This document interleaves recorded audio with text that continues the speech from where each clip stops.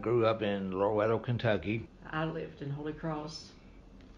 Daddy was a good, hard-working farmer. Grandmother Nevitt was a, a very t- tiny lady. And Grandpa Nevitt was a very kind and humble man and lived, so of course, in, in Nelson. We knew each other in high school. We rode the same bus. Uh, but we never, we were just friends in high school till after he came out of the service. And then we got to know each other better.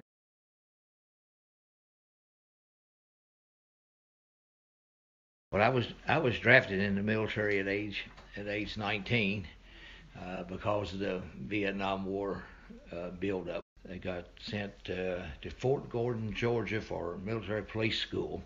We were losing MPs left and right to go to Vietnam. So when I, when I came on orders to go to Vietnam, they were canceled because of the lack of military police on post. So I ended up staying stateside, and uh, uh, we ended up doing duty of training to go to Vietnam, as well as doing post duty and doing town patrol. How did you propose? It was uh, at Christmas time, hmm and uh, I just I had bought her a ring, and it was very simple. I just just gave it to her, and Mhm. actually in the car, and asked her to marry me. It was a beautiful November day, Thanksgiving Day. Yeah, little little snowed a little bit hmm later in the day, but just a nice sunny fall day. The church was full. Probably 300. hmm 300. Everybody had a good time out here at the, our reception later, before we'd already left. Church has always been something that uh, our, our parents always instilled in us.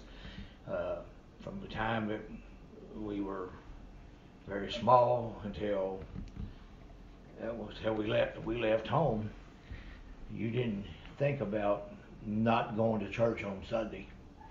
And uh, I don't care if you, as a teenager, or 18, 19 years old, and and uh, you were out most of the night, you you were going to get up and go to church. Uh, Sunday mass was something that it was not in question whether you were going to do or not. You you were going to do it.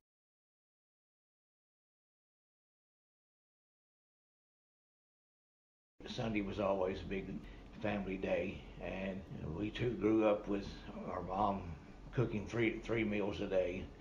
Most of the time, we'd have country sausage and, or shoulder or country ham fried up for for breakfast, and uh, that was always kind of kind of my favorite. If we didn't have people at the house, we would go to one of my aunts and uncles, and they would have the, have the dinners. My mother was the only one lived out here in the country, and all her sisters lived in Louisville. So they would come out. They thought that was a big treat coming out on Sunday, and we all visit each other during the week.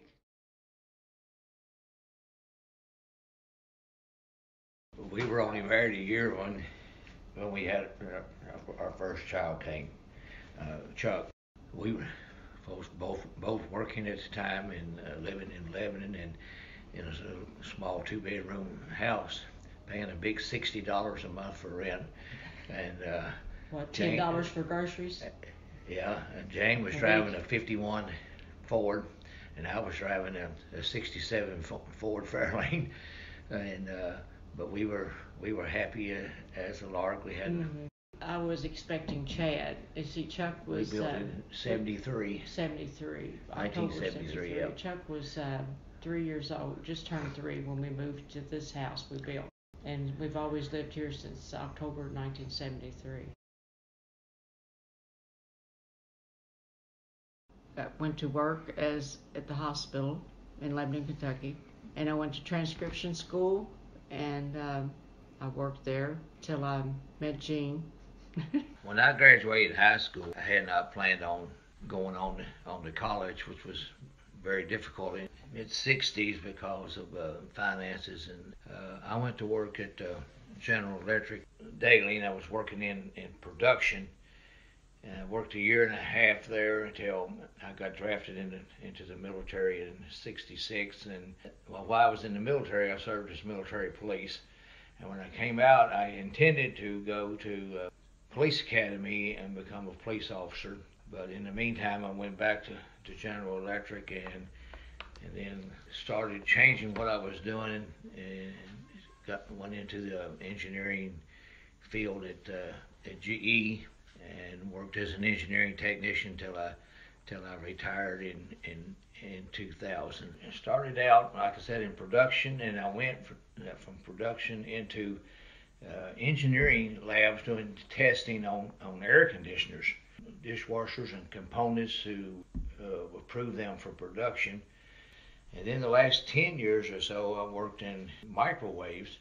Never did become a police officer, but uh, it was something I really kind of always wanted wanted to do. But uh, I had a good career at, at GE and provided a good living for for us and the family.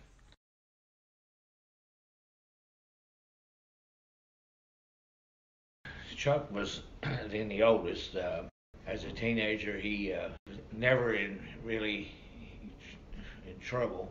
Loved uh, loved to be with the the girls, and uh, and uh, wasn't as much into sports as uh, as Chad was, our se- our second one. But Chuck was a good never- athlete. He just, uh, he he was very quick, quick and agile, and uh, and Chuck got into playing playing golf, and Softball. he he was more into going out and having fun. Mhm. Uh, He's also very, very caring person. Got a big heart. He he got his degree in social work, and uh, he it worked. He worked real well for what almost 20, 20 20 years. years as a social worker in the schools.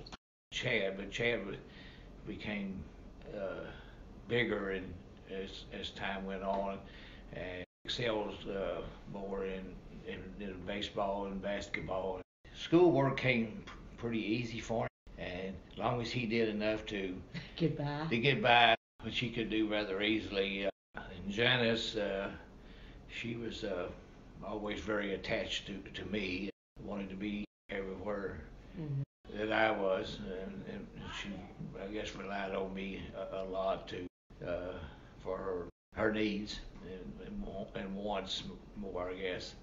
I think the Kentucky lifestyle, the country living, is more suited to Janice. but- Janice never got a. He's, I knew she didn't want to get away from home very far, not very far. She was always a homebody. So she became a nurse. She was always a caring, but wanted to take care of people.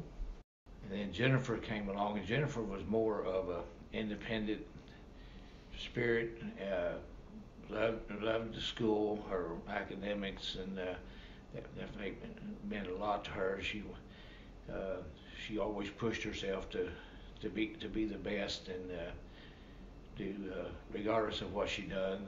Uh, she got in politics, uh, started branching out, and, and went from University of Kentucky to Democratic Party to uh, Washington D.C. with Ben Chandler, and then on to Boston. We have 15 altogether. Well, from your visits here, when we're all here, like especially at Christmas, Thanksgiving, or just when you guys are, or, or we have a big family get together, you know how hectic it can be be around here. And uh, but uh, I guess we wouldn't have it any any other way. Even though I guess as we get older, it gets a little bit more demanding all the time. I'm trying to keep, to keep up, but I think it's something we'll we'll never never regret being able to do. I like the way their ages are too 24, To and- 24 and 4. It's never, they keep us young. We go, we're growing, you know, phases of teenagers and, oh, college. So we, they keep us on our toes. Well, I think the number one thing I always think about is is our passing down our, our religion. You know, Our faith in Not- God. it doesn't necessarily, yeah, our faith in God. Yes, 'cause I don't faith in think God. it has to be just because we've been Catholic all of our life doesn't mean it it has to be Catholic. Always remembering to keep God first. God first in your in, in your life, and secondly is family staying together. It's all, it's always most important, I think, in, in society. And, Yes. and families, well, they have little quarrels and whatever, but you always need to look at the big picture and be the bottom line what the most important thing is. Being true to you, being true to yourself. I, I think you know you can have a, a different opinion, you know, whatever, but respect the other person's opinion. Be yourself and res- respect uh, other other people's uh, opinion. Being a caring person, not only about yourself, but but uh, Other other, people. other people. Yeah. You're willing to care for other people's uh, needs as, as any way you can. Just having God in my life and Gene and my family. That's the most. And my health, you know, but that's last. But having God, and I bet we're, so blessed with all all of y'all. I mean, everybody, No. our family, our you know, we have everything we need.